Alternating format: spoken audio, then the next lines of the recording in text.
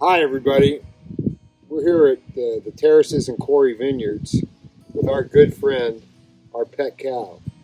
We, we love our cow, and we love the cow so much that we dedicated the labeling in the in the, the capsules on the Falanghina to the cow.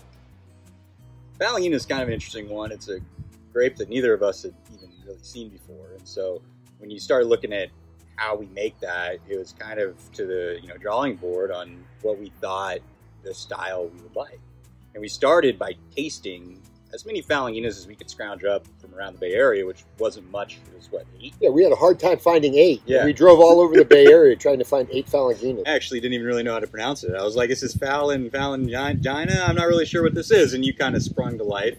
Yeah, well, the thing is, for me, yeah, Sharon and I, Sharon and I love to go to Italy. You know, for us, it's like the center of the world, and one of our favorite places is the area around Naples, Campania. You know, some people go down to Positano and Sorrento and those fancy places. We like to stay in Naples, and there's three white varietals that come from that area: uh, Greco di Tufo, Fiano, and Falanghina.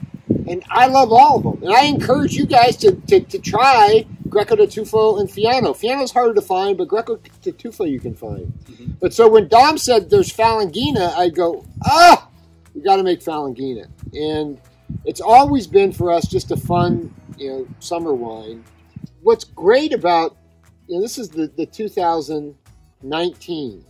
And what's great about it is it has this very sort of sexy mouthfeel and it has this aroma of you know passion fruit. Uh, it just it's it's really it's just delicious. It's, Uh, it's got this like honeysuckle kind Yeah. of sweet aromatic to it that is really attractive, especially when you're going into the warmer months, because you can sit back and next thing you know, you've oh, it's gone. bottle. This bottle's gone. hey, thanks for joining Dom and I. thank you guys. It's been fun. Yeah, yeah.